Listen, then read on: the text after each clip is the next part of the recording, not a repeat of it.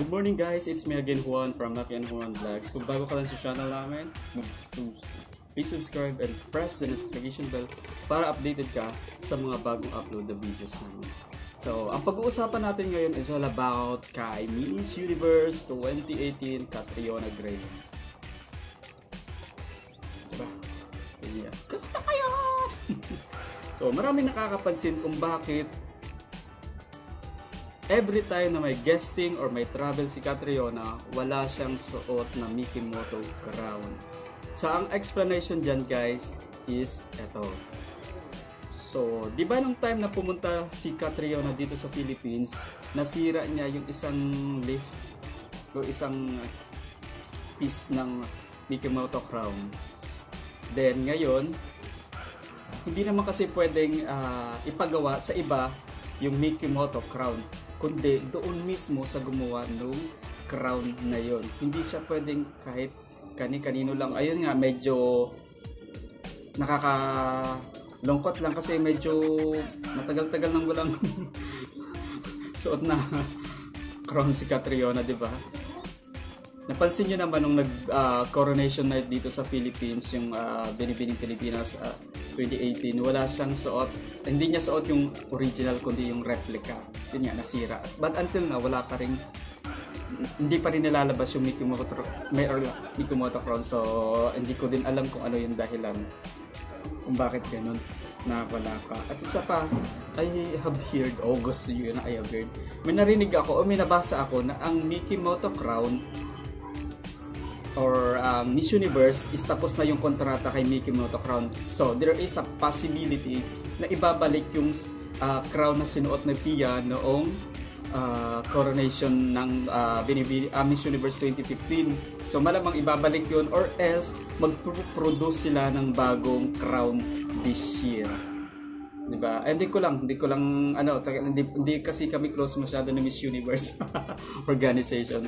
So, yun guys yung explanation diyan kung bakit walang suot na crown si Miss Catriona. May suot man siya pero that is a replica only kasi sobrang laki, tsaka hindi talaga siya fit doon sa sa ano ni Catriona. Then another thing is, ang dami kasing nakakapansin, especially yung mga Pinoy fans ng beauty pageant. Uh, every time na may magta-travel na, na ibang beauty uh, international beauty titlist title holder. Uh, kino-compare lagi nila si Catriona kung bakit daw wala walang ganap si Catriona walang travel walang ano. So explanation dyan is ganito. So alam naman natin na ang daming commercial dito ni Catriona sa Philippines.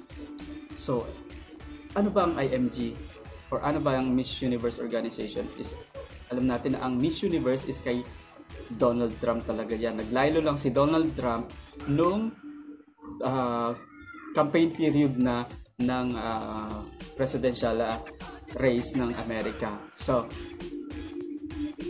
Miss Universe is all about business. Nung maglaylo si Donald Donald Donald talaga Donald nung maglaylo si Donald Trump, sinalo siya ng IMG. So, ano bang pagkakilala natin sa IMG? Ang IMG is a modeling agency, is a modeling company. But wait, IMG is also a business, di ba? Paano sila kukuha ng model, kasi model, ng mga modelo nila kung hindi sila kikita, di ba? So, that's it. Kasi yun sa rason kung bakit ang IMG is all about business also. Di ba? Di na natin mapag uh, kakailayan na business din ang IMG. So, once nag-travel si Catriona sa isang bansa at magkano yung maiuwing profit nito o kaya maibibigay sa mga chosen charity ni Catriona. So, ang dami niyang travel dito sa Philippines. Ilang beses na siyang pumunta dito sa Philippines kasi nga sa mga commercial niya. Kasi ganito. Magkano ba ang ibinabayad ng commercial kay Catriona? O magkano ba ang binobayad ng isang uh, produkto or commercial kay Catriona, i-compare natin doon sa travel ni Catriona. So magkano lang ang magiging niyang profit doon. So alam naman natin na sobrang daming commercial ngayon ni Catriona. Uh, yung smart, Samsung ba yung nagpara ay pa, Samsung ba yung ano niya? Then mayroon siyang Jollibee, Cream Cell, and then I think yung latest ngayon yung sa sa Miguelite. And then, alam ko mayroong lalabas na commercial ng BDO na siya din yung model doon. So, abangan natin yan.